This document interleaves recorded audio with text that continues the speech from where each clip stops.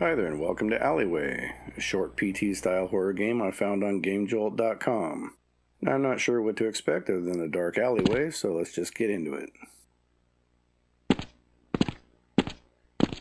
So, I've been finding it very time consuming trying to find good games to play here on the channel. 90% of what I download is pure crap, and for me, this time of year, time is a commodity, especially as we get closer to the holidays.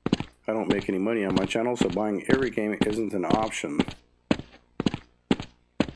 I've been playing a lot of 7 Days to Die lately, mainly because I really enjoy it, but it's a very long game with literally no end, and it's often not as interesting to watch as these fun little indie games. I'm not sure if you guys are interested in it, so I haven't uploaded much of it.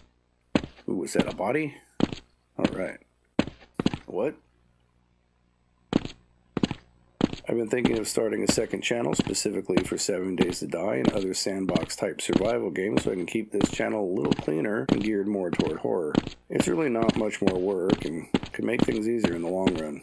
The only problem I see is that it's often difficult to find good horror. Anyway, let me know your thoughts in the comments.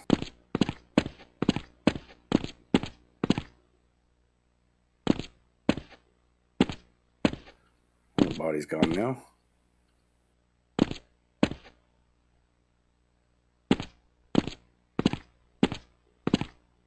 I would like to mention that while I've limited my upload schedule to just Fridays for now, I'm trying to set aside a little more time for editing so I can get at least two videos out a week.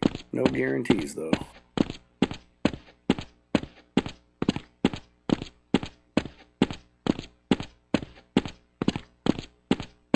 What the heck is that? Looks like a, a body bag.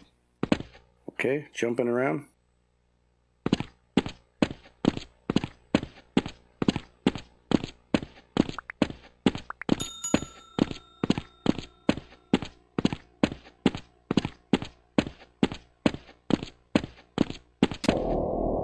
Okay.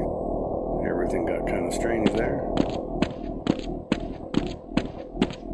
I'm not sure I like this uh, glitchy TV screen type effect that everybody seems to be going with these days.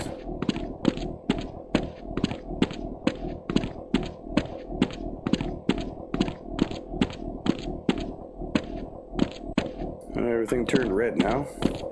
Kind of interesting. There have been a lot of these loop style games made in recent years, thanks to PT, but few can even dream of living up to the standard of Kojima and his team, that's for sure. Personally, I think there are too many of these types of games. They're basically walking simulators. I'm curious, what type of horror games do you enjoy? Do you like psychological horror, action, survival? Let me know in the comments.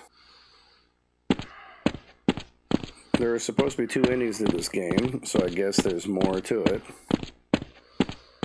Game Jolt page suggests there is realistic bloodshed, which I haven't seen yet.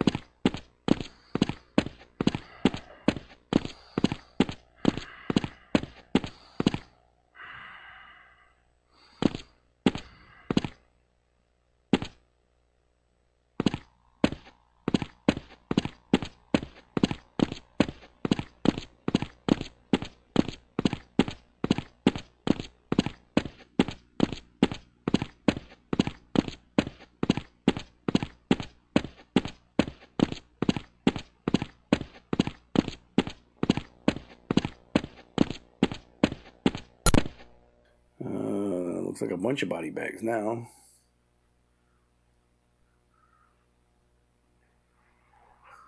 Okay. Can't move or anything, just spin around.